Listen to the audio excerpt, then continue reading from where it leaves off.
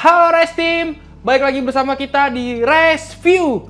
Hari ini kita ada liquid baru lagi. Ini liquid Jack Royal Custard by GVS X Blackjack Distribution in collaboration. Nah, ini adalah yang nikotin 3. Kita akan cobain di RDA Arta Gen 2 XTRML. Rasanya seperti apa? Kalau seperti deskripsinya sih dia Royal Custard ya, 60 ml nikotin 3. Tadi PG-VG-nya dia 6040. Untuk desain botolnya kita lihat di dusnya juga ada bacaan perhatian produk ini mengandung nikotin bla bla bla seperti biasa dan sudah bercukai juga. Botolnya sama kardusnya desainnya nggak beda jauh ya.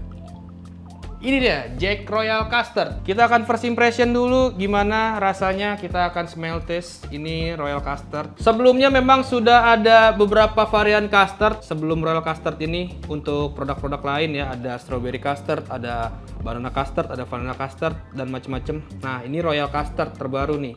Gimana sih rasanya Royal Custard dari Jack ini? Mari kita coba smell test dulu untuk first impression gimana flavornya ya guys ya.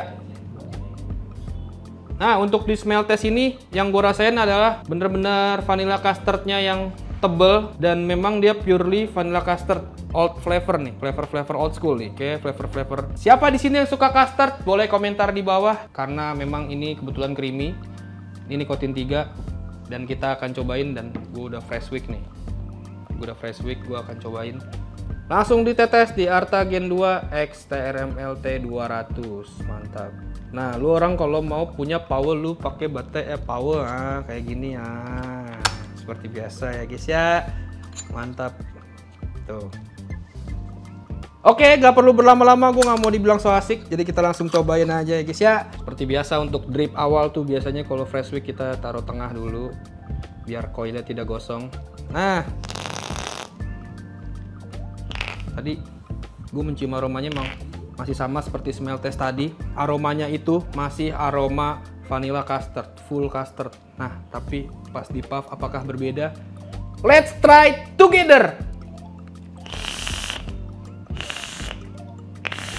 Wah, lu mau cobain? Bener-bener full vanilla custard. Tapi yang di sini yang menjadi karakter dominan adalah vanilanya yang begitu tebal, yang di mana kalau lu nyobain vanilla custard itu berasa custardnya gitu loh. Kayak apa ya custard itu kayak krim yang mungkin bisa dibilang dalamnya atau isiannya kue sus itu adalah custard bisa dibilang. Atau dia kalau nggak salah itu custard tuh apa ya putih telur yang ini ya. Nah vanilanya ini kalau untuk detailnya menurut gue pribadi adalah vanilla yang bisa dibilang mendekati susu atau milky milky creamy milky vanilla gitu deh jadi kalau menurut gue pribadi ini adalah campuran liquid custard dengan susu vanilla kalau yang ada di tenggorokan gue atau mulut gue ya atau ada di lidah gue untuk first impression dari segi throat heatnya menurut gue ini throat heatnya middle tidak terlalu uh, strong tapi ini middle ke strong ya bisa dibilang ya.